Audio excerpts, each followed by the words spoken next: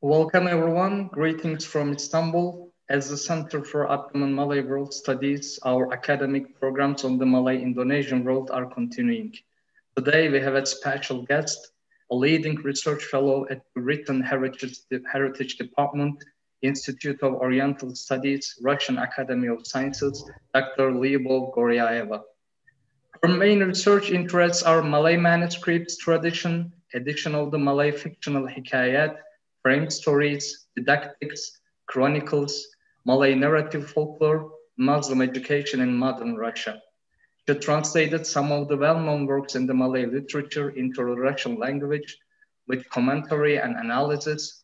And some of her publications are Hikayat Raja Patsai in 2015, The Story of the Kings of Patsai, Monuments of Malay Book Culture from 15th to 17th Century, Hikayat Pandavajaya and Tajus Salatino Bukhari al-Jawhari in 2011. Hikayat Maharaja Mahara, Marakarma, Marakarma in 2008. Muslim Education in Modern Russia in 2003. Uh, Hikayat Bakhtiyar in 1989 and interrelation of written and oral traditions in the classical Malay literature in 1979. Uh, welcome, Dr. Goryaeva. Thank you. It's just an exhaustive presentation I've never heard before. Uh, it's really very nice of you to to um, to make such an exposition of my scientific acquisitions now at uh, Nusantara Society because uh, um, it's a long story. Malay language and literature are a relatively new part of Oriental studies in our country.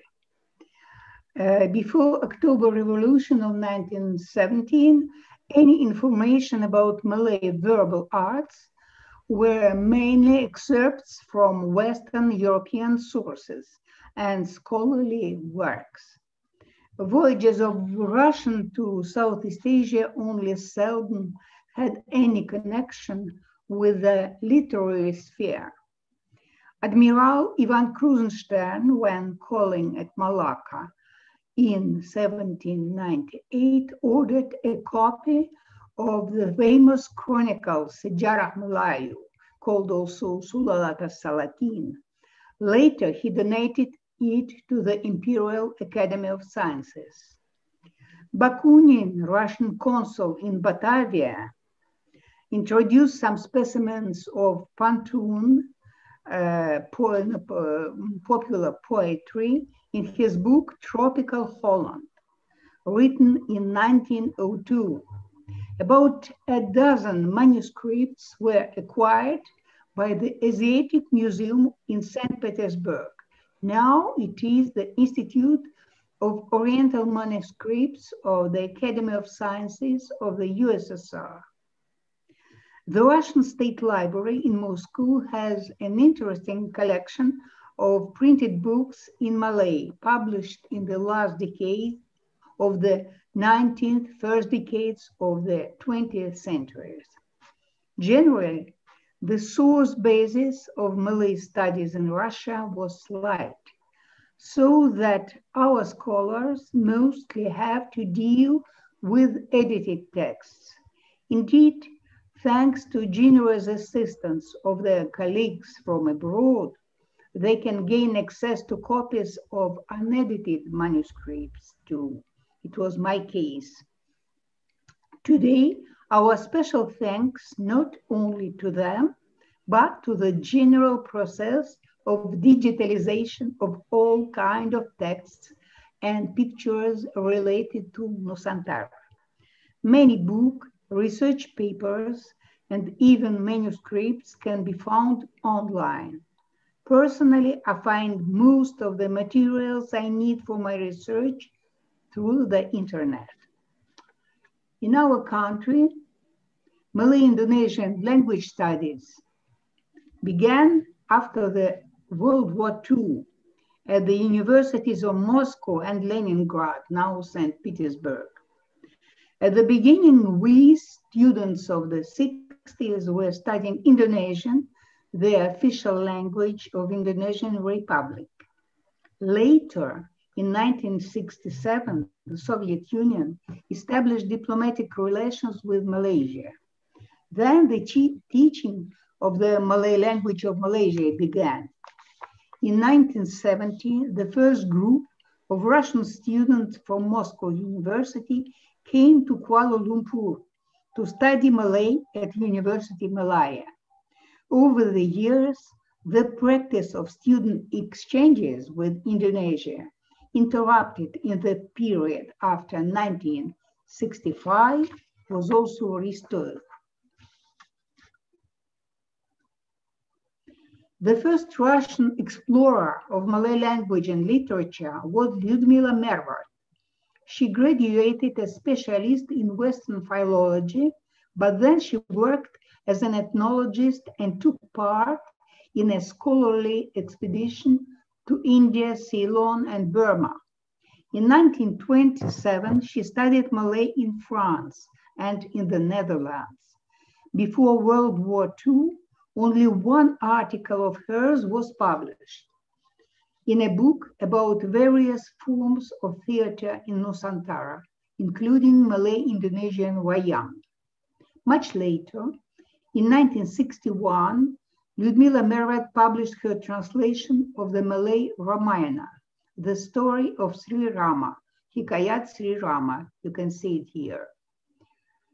The original text was Balai Pustaka edition of 1953. The book has a subtitle Indonesian Ramayana. The introduction dealt with some differences between the Malay story and the Indian prototype. In 1973, eight years after the death of, of Mervart, her disciple Boris Parnikel published her translation of the story of Sangboma, Hikayat Sangboma, based on an edition of 1924 with his comments and research articles. In the years that followed, Boris Parnikel became the key figure of Malay Indonesian studies in USSR and Russia. He studied the Indonesian language at the Moscow Institute of International Relations. Besides translations and reviews of some Malay and Indonesian works, he published a series of articles on the famous Malay epic of the 17th century, Hikayat Hang Tuah. He translated not only this Hikayat, but also short stories and folk romances of today. For a certain time, he was a lecturer in Malay uh, literature at Moscow State University. His translation of the history of Malay literature by Richard Winstedt, published in Moscow in 1966, was contrary to the saying, the first swallow that made the spring.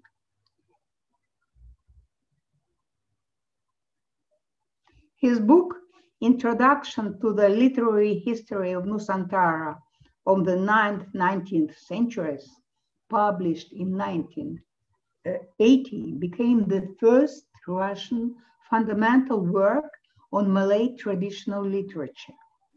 Also, Parnikel most actively promoted the achievements of Soviet and Russian researchers of Nusantara. Little by little, the number of Malay Indonesian. See, we see the second. Uh, uh, little by little, the number of Malay Indonesian language learners was growing. There was a need for a forum where colleagues could discuss various issues related to Nusantara studies. Understand. I, I looked for it somewhere else. Thank you. So in December, the first session of Malay Indonesian readings was held at the Institute of Oriental Languages, Moscow State University. Besides Boris Parnikel himself, it was the initiative of such scholars and university professors as academician Alexander Guber Natalia Alieva, and William Sikorsky.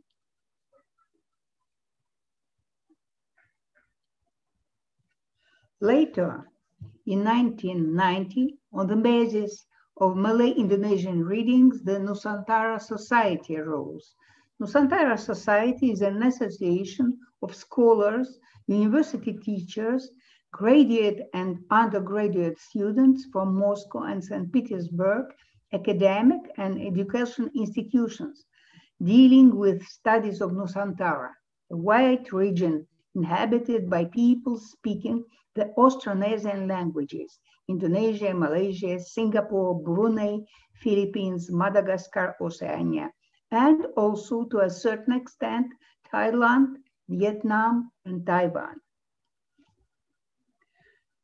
The Nusantara main activities comprise promoting the study of history, philology, economics, and culture of Nusantara, teaching these disciplines in Russia, establishing contacts with foreign research centers and universities, exchange of books, periodicals, and other materials, implementation of joint research projects, organization of conferences and seminars.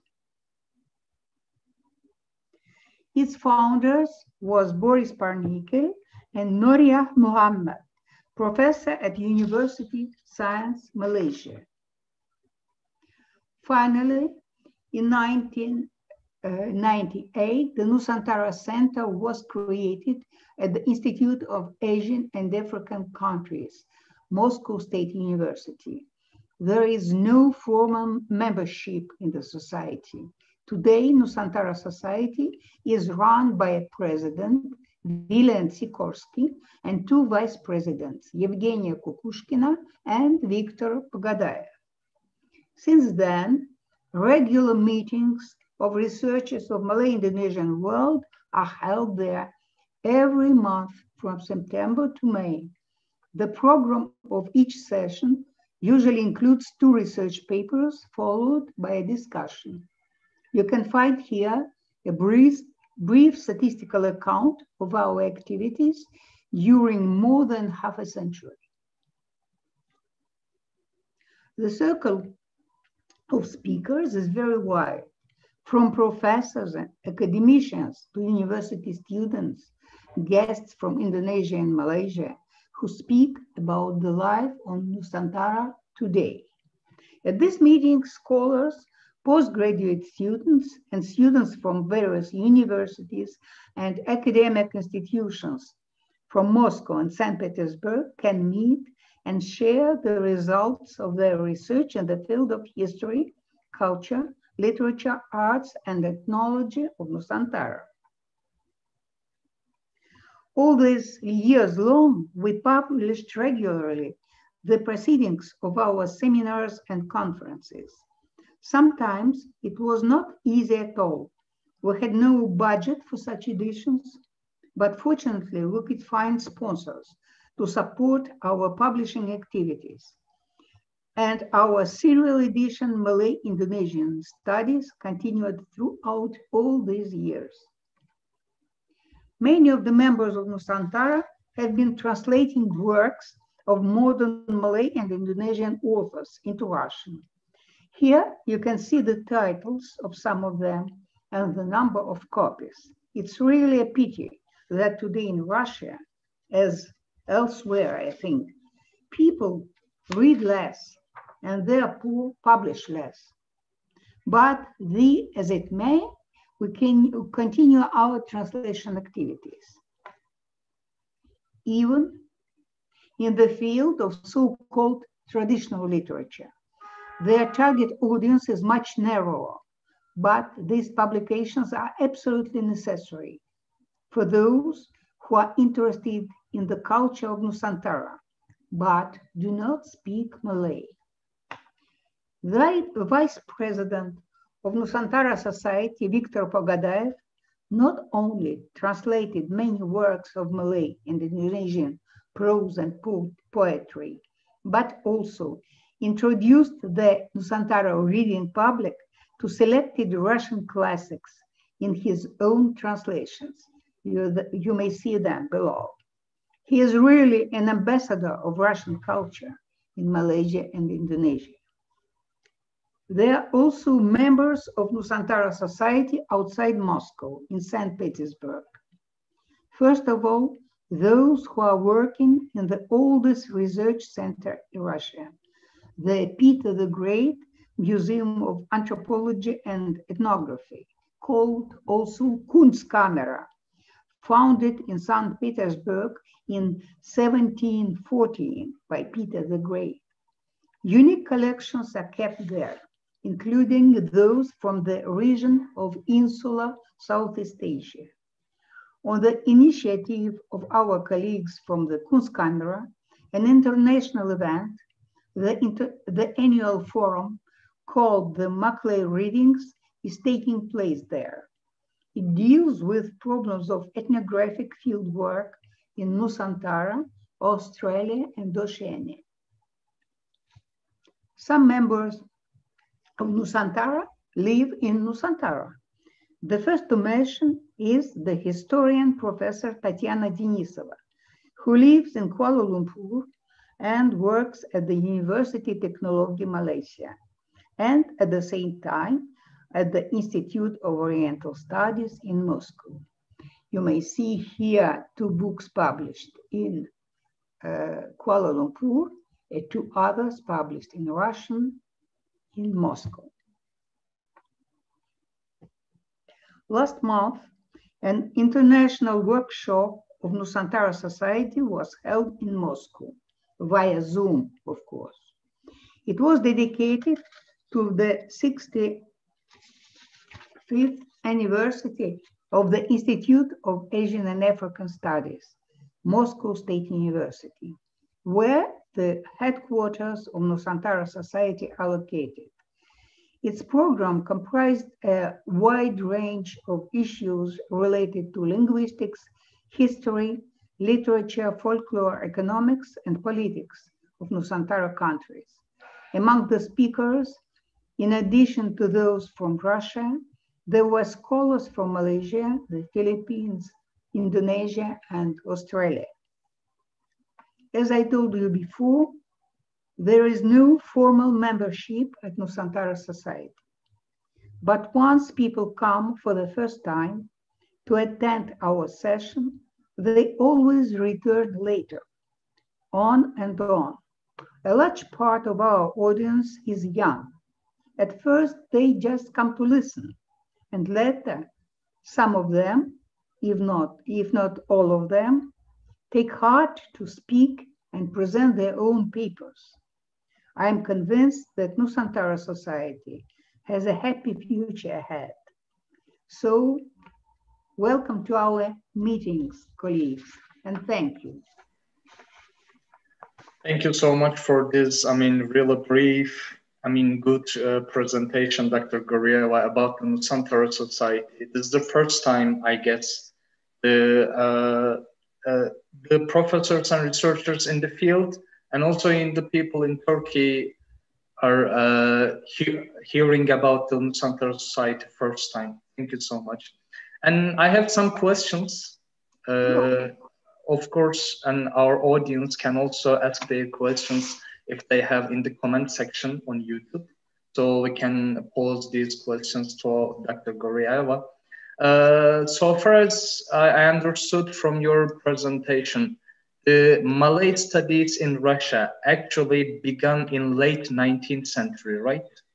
Uh, you know that Malay and Indonesian, at least in the field of language, it was just the same thing up to the, at least uh, up to the middle of the 19th century, if not later. So that when we speak of traditional literature, literature, nobody says there was a traditional Indonesian literature, only traditional Malay literature.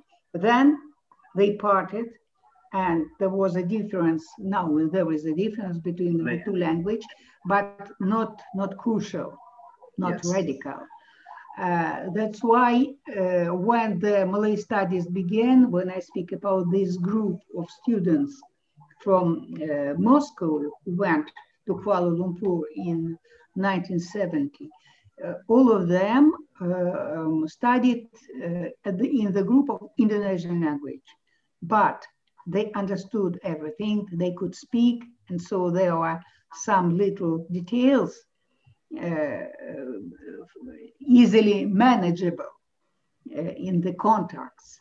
So they became two of them, Pogadaev that I mentioned, and the other uh, who is no more, unfortunately, Tatiana Dorofieva, they were among the first to make the Malay Russian uh, dictionary based on Kamus Dewan, published academic edition, published in Kuala Lumpur, and did a lot of things to promote the, uh, the M Malaysian Malay and not Indonesian. Indonesian.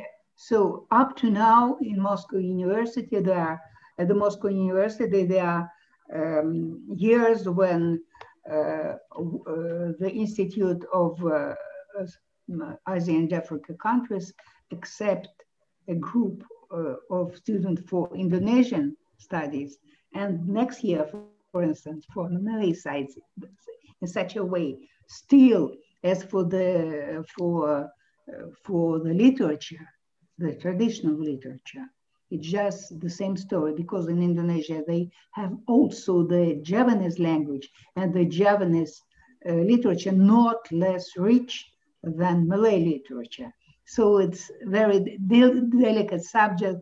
Nevertheless, uh, we have uh, um, we have two languages uh, under the roof of uh, the two languages uh, under the roof of Nusantara, together with the languages of Philippines and so on.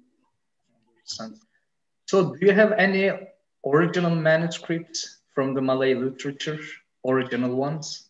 Uh, okay, you know, uh, there are no there are no persons personality who have original uh, manuscripts. Still, we have eleven original manuscripts in St. Petersburg uh, at, the, at the library of the Institute of Oriental Manuscripts, who deals, this institute deals mainly with uh, editing, translating, publishing um, Oriental manuscripts.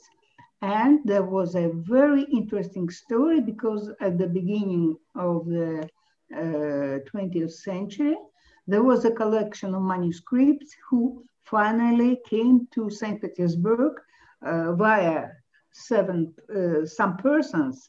And the way it went from the uh, sources up to the library is not very clear, not, not very clear.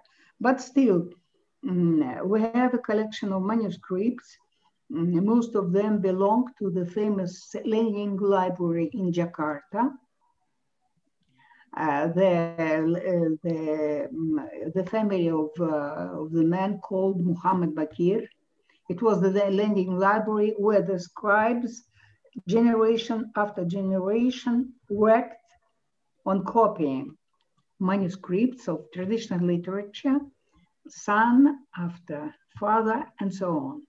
And uh, at, uh, it was a moment, I think, at the end of the 19th century when their business didn't go as good as they would like to see it. So they sold a, a certain quantity of it here and there, and some of the manuscripts finally came to St. Petersburg. One, for instance, there was the oldest manuscript um, of the of this collection, uh, Hikayat Maharaja Marakarma, and I have the chance to uh, see it, to make a transcription into Latin characters, and to edit it in form of first a, CD with the original text in color and everything, then transcription with Latin characters, and finally Russian translation with research articles. It was the way to the way to edit them. I think it's, it's it was a good idea, and I haven't heard after that that was any, there was any practice of such an editing, be it in Russia or elsewhere. So, and after that, there was one very interesting thing here too, because there were two manuscripts which uh, were copies of the first older one. So it would be very interesting, if I have time and the opportunity to compare. For me, academically, it's a very interesting subject. What changes the scribe made to the text he has under his eyes? So one generation of changes, you understand? It's very interesting. What really they, because we know that they changed words, um, that mix some passages and everything. But here, it's really a, there is really a proof that there are uh, two these manuscripts are like father and sons. So, uh, and uh, um, among the editions of traditional texts that I mentioned here before, it was the manuscript of Sulalata Salatin, or Sejarah Melayu, the most famous Malay chronicle, which was uh, brought by Krusenstern, I also mentioned, uh, an officer of marine, uh, uh, he made full of research during his voyages. And uh, he also brought a manuscript of uh, Sulalato Salatin to St. Petersburg. So uh, you see that some of the text, uh, step by step, quite slowly, but they have no specialist in Malay tradition at this Institute of uh, Oriental manuscripts. That's why it doesn't go that uh, that quickly. Uh, still, uh, things are moving are moving in such a way that we may hope, perhaps, if there are people eager to work on manuscripts, they will find interesting things in St. Petersburg collection. Thank you so much. I also wonder, I mean, your story, I mean, how did you start? I mean, how your interest in the Nusantara region, I mean, has begun? I mean, how did you learn the language? Because you're making translations I mean, yes. and Nusantara Society is, I mean, has few members. I mean, not a broad, I mean, there is no broad interest in academic world as well. In Russia in and elsewhere. But how did you, I mean, how did your interest begin, begin in this uh, field? You know, it was the choice. Uh, I wanted to study at the, uh, at the Institute of Oriental Languages when uh, I was 17 and I had to do, to make a choice of language because if I uh, at the uh, exam of entrance I had good notes, I could choose the language. There was no, one another factor. It was the basic, uh, the basic uh, European language. The future student knew. I knew French and uh, a little bit of uh, uh, English. But as I had good notes, I had the choice. And I asked for advice. Uh, my uh, elder brother, he's a, my half brother, much older than me, who worked there. And he said, You choose Indonesia because there are plenty of things to do plenty of material for research. And they agreed. And I think it's really wonderful. I like uh, Indonesia because it's multicultural. I like uh, because it's because of that it's very open. Uh, in fact, uh, I think that uh, in some way the mono ethnicity, ethnicity is something very dangerous for, for a country. It often is. So here we have really a choice of cultures, of uh, languages, of traditions, and all of them living together without quarrels, or let's say almost without quarrels, but still they are together. And that's why the, such a country as Indonesia is uh, uh, is really an example for many of us, many of those who have many peoples, many different uh, ethnies in, in, in, in, the, in their state. Differences together in an harmony. So yes, yes, understand. So how do you see the new generation in Russia? Actually, you shared a, pic, a photograph with us with the, some young researchers.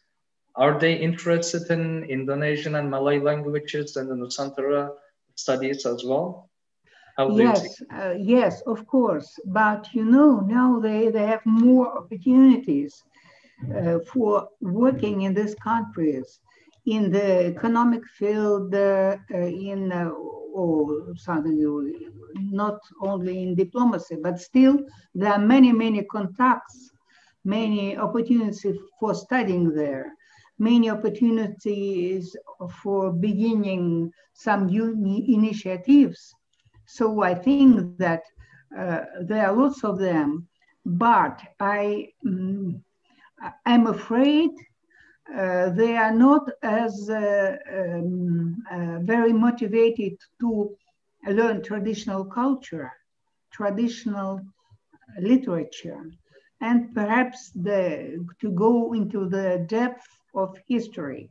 And so when I uh, I was uh, a kind of uh, kind of teacher for the students of uh, second and third year at the um, at this institute, and I read to them and presented them a course of traditional Malay literature. I said, always said to them, first of all, I teach you to translate quickly the text that you see.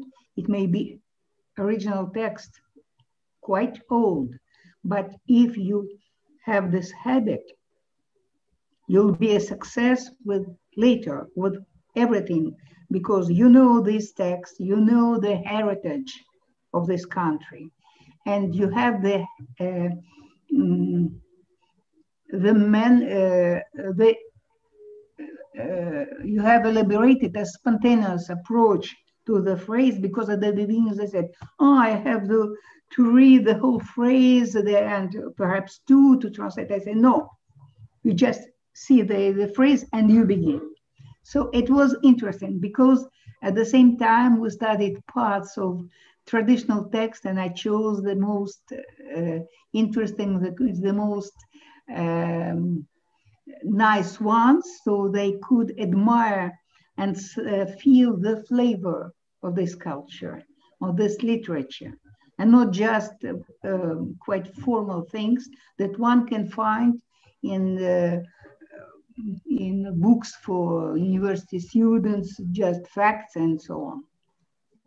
So if they are interested in Nusantara uh, studies, I mean, firstly, they have a language study, right?